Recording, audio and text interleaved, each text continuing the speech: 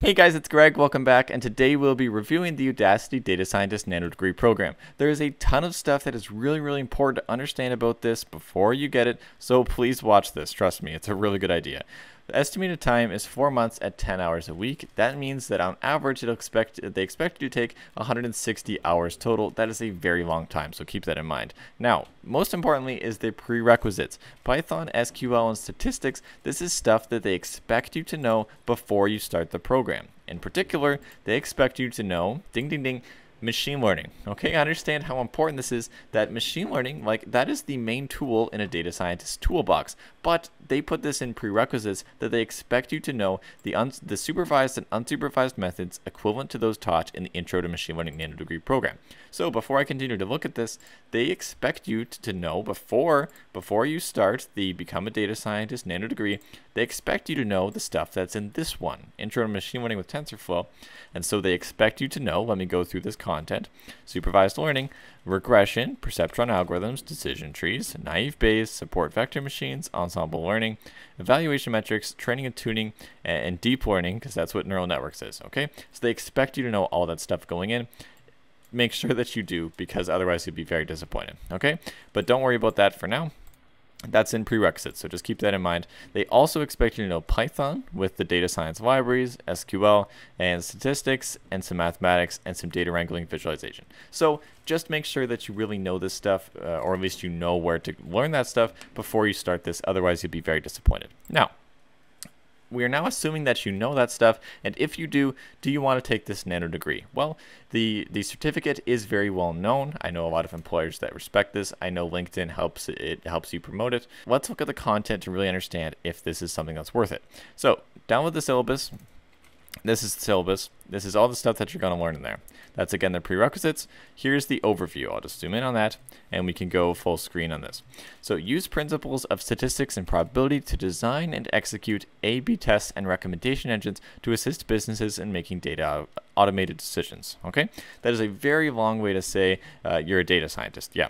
So deploy a data science solution to a basic Flask app, manipulate and analyze distributed data sets using Spark, and communicate results effectively to stakeholders. That is really um, what data scientists do is we use uh, really I would replace this with machine learning use machine learning uh, to to make various models deploy them uh, manipulate them you might have to use Spark if the data is big enough and communicate results to stakeholders is really what you got to do okay so let's go through this I will keep zoomed in zoomed in Course 1 is on solving data science problems. Learn the data science process, including how to build effective data visualizations and how to communicate with various stakeholders.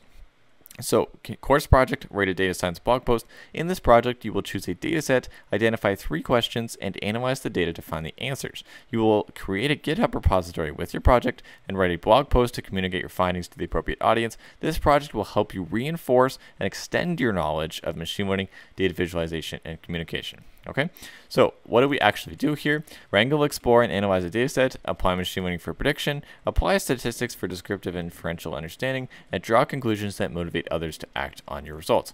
Okay, so they're speaking very broadly in what you do here, but the main point here is kind of the general data science process and then communicate it with stakeholders by implementing the best practices and sharing your code and written summaries and learn what makes a great data science blog. How to actually communicate this is very important because this is how you show employers that you know what you're doing is you actually communicate this stuff. So I think that's great. Software engineering for data scientists develop software engineering skills that are essential for data scientists, such as creating unit tests and building cl uh, classes. So they do here mean classes as the actual uh, the software thing. So this is all about uh, these lesson one and two here. It's all about proper software development, and I think that's really important. This is this is big stuff. Uh, and yes, maybe some people think that to be a data scientist, you don't have to have amazing software skills. I do not agree with that. I very much support that they expect you to understand and they teach you uh, the really software heavy stuff. So I think that's really good.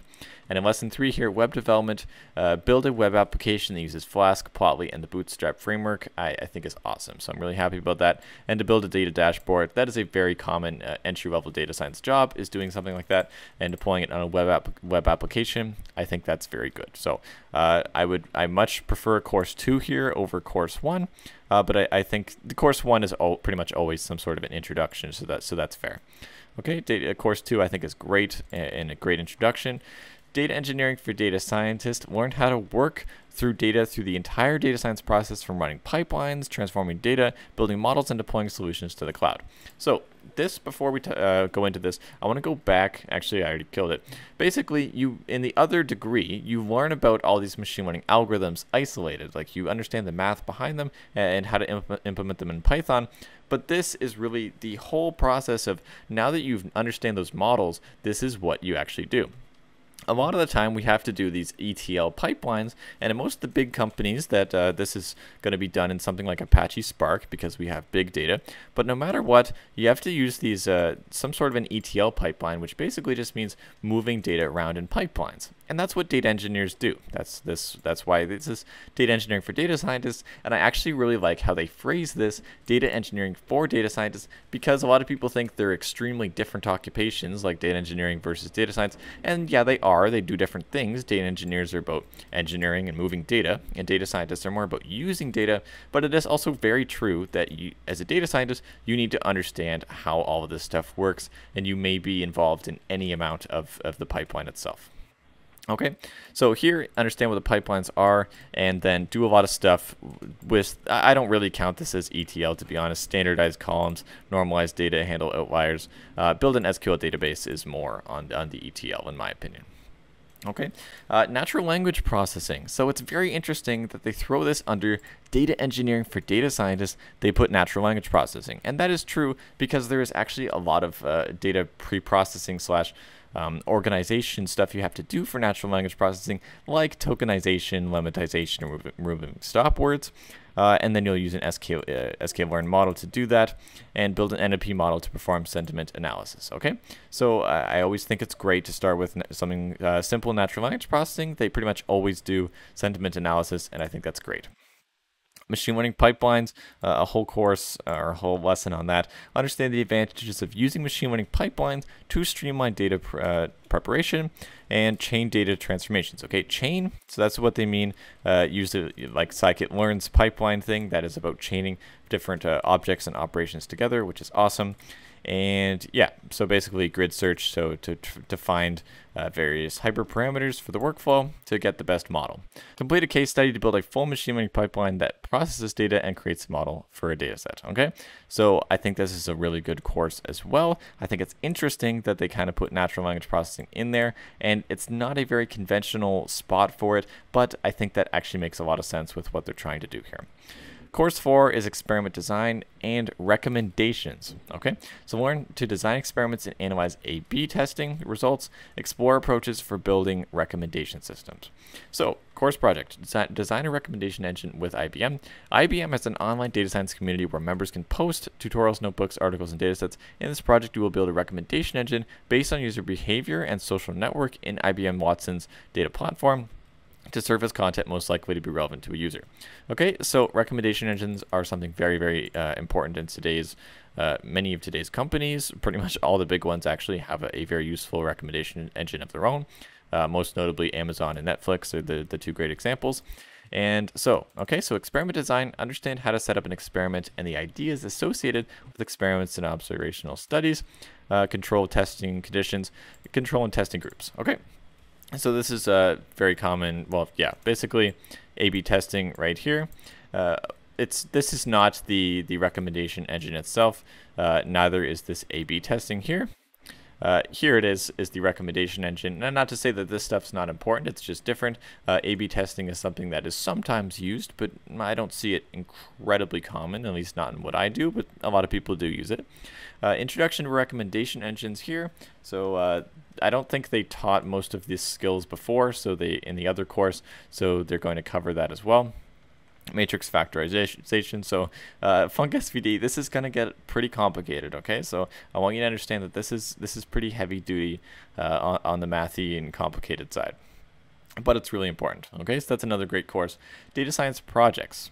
Leverage what you've learned through the program to build your own open-ended data science project. This project will serve as a demonstration of your valuable abilities as a data scientist. Course Project Data Science Capstone Project. In this capstone project, you will leverage what you've learned throughout the program to build data science project of your choosing. Uh, you will define the problem you want to solve, identify and explore the data, then perform your analyses and develop a set of conclusions. Okay, so this project will serve as a demonstration of your ability as a data scientist and will be an important component of your job ready portfolio.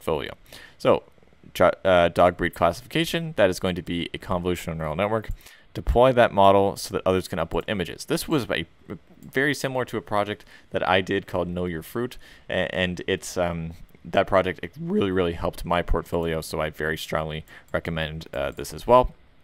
Starbucks uh, use purchasing habits to arrive at discount measures to obtain and retain customers. Identify groups of individuals that are most likely to responsive to rebates. Okay, so questions like this come up a lot in data science uh, to identify these groups of people that we care about, and that's really important. And there's another elective, which is a great option.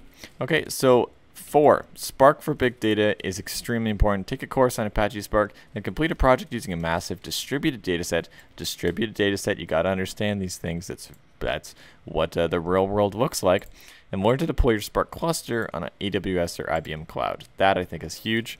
And use your skills to tackle any other project of your choice.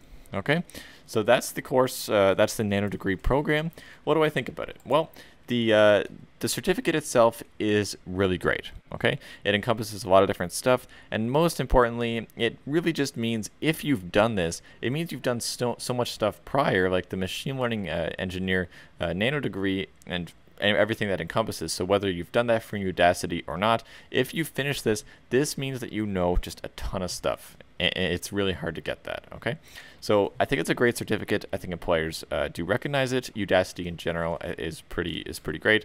Um, I do think it's a little bit forced to be Udacity, and they throw you in a little bit uh, of a, a Udacity kind of kind of circle. And what I mean by that is, if you go to the prerequisites here, uh, we can see that, you know, this, it's equivalent to those taught in the Intro to Machine Learning Nano Degree program. If we were to go to the, again, to the Machine Learning one and see their prerequisites, well, you'd see it would recommend some other Udacity prerequisite stuff.